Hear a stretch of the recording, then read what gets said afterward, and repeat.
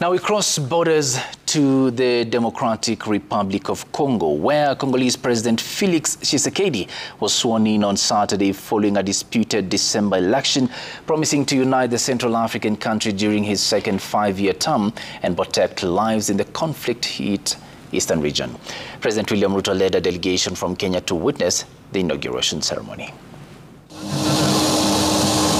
President William Ruto led the delegation from Kenya that attended the inauguration ceremony for Congolese President Felix Tshisekedi as he started his second term as the President of Congo.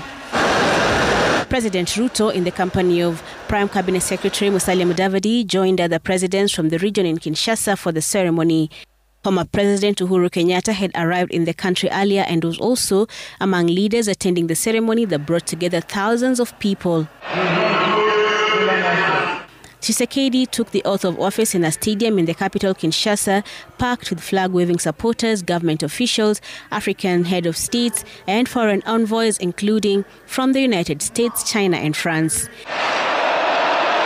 In his speech, he acknowledged the nation's hope of better living conditions and economic opportunities. Around 62% of Congo's 100 million people live on less than a dollar a day. Tshisekedi won re-election with more than 70% of the vote.